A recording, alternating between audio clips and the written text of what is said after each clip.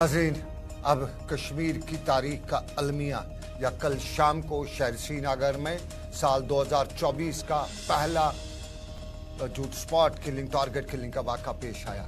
ये श्रीनगर की शहीदगंज के बैक साइड का वाक़ा, जब नामालूम बंदूक बरदारों ने अमृतसर के दो रिहायशियों पर नज़दीक से गोलियाँ चलाई और जिनमें अमृतपाल सिंह की मौके पर ही मौत वाक़ा हुई।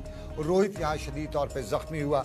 रोहित को श्रीनगर के असमत अस्पताल से सोरा अस्पताल पहुँचाया गया था, लेकिन रात देर गई सोरा अस्पताल में भी वो जख्मों की ताब न लाते हुए दम तोड़ बैठा। इस साल का ये पहला वाक़ा और इससे ठीक उस वक्त जब कश्मीर से लेकर दुनिया भर में कल शब महराज सल्लल्लाहु अलैहि की तकरीबात के सिलसिले में इंतज़ाम किए जा रहे थे, तैयारियाँ की जा रही थी, लोग नमाज़ के लिए निकल रहे थे। उस वक्त के इस वाक़े पर वादी कश्मीर में हर सू उस वक्त से ही खौफ भी था, अफसोस भी था और हर तरफ़ से इस वाक़े की मजम्मत की जा रही थी। ये श्रीनगर में साल 2024 का पहला वाक़ा पेश आया था और इसको लेके सियासी जमातों ने कल शाम से अपना रद्दमल ज़ाहिर करना शुरू किया था। और कल शाम से ही सियासी जमातों ने चाहे जम्मू कश्मीर के लेफ्टिनेंट गवर्नर हैं, उन्होंने भी इसकी सख्त अल्फाज में मजम्मत की, अपना ट्वीट उन्होंने किया। उसके बाद आज की अगर बात करें तो सियासी जमातों ने इस पर रद्दमल करना शुरू किया। जम्मू में आज उमर अब्दुल्ला थी। नेशनल कॉन्फ्रेंस के लीडर उमर अब्दुल्ला ने जम्मू में आज मीडिया से जब बात की तो इस वाक़े पर अफसोस का इजहार करते हुए सरकार के इस पस मंज़र पर उन्हीं के अल्फाज में सुन लीजिएगा, उन्होंने किस तरह से इसकी मजम्मत की।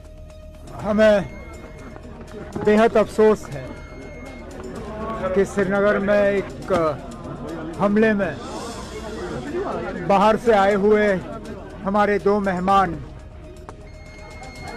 गोलियों के शिकार हुए। एक कल ही उस हमले में दम तोड़ गया और दूसरा जो जख्मी हुआ था, खबर आई कि आज वो अस्पताल में गुजर गए। सबसे पहले तो उनके घर वालों के साथ हम हमदर्दी और अफसोस का इजहार करना चाहते हैं और उसके साथ साथ इस हमले की जितनी निंदा की जाए, जिसकी इतनी मजम्मत, जितनी इसकी मजम्मत हो, कम है।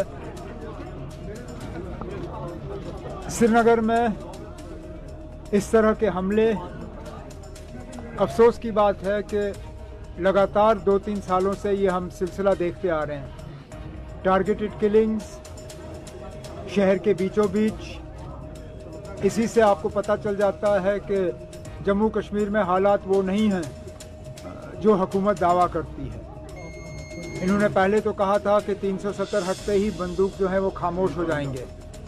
लेकिन श्रीनगर, रजौरी, पुंछ, इस तरह के इलाके जहाँ मिलिटेंसी के हमले जो है लगभग ख़त्म हो गए थे, लगातार यहाँ पे अब इन हमलों का सिलसिला जो है वो देखने को मिल रहा है, जो बड़े अफसोस की बात है। प्राइम मिनिस्टर कह रहे हैं अब की बात 400 के पार। आपको लगता है आपको क्या 400 से लेना देना? पहले यहाँ लोगों की जानें जो है वो महफूज हों। वो 400 की बात बाद में करें। पहले ये पहले ये बताएँ ना कि जम्मू कश्मीर में हालात इस तरह खराब क्यों हैं?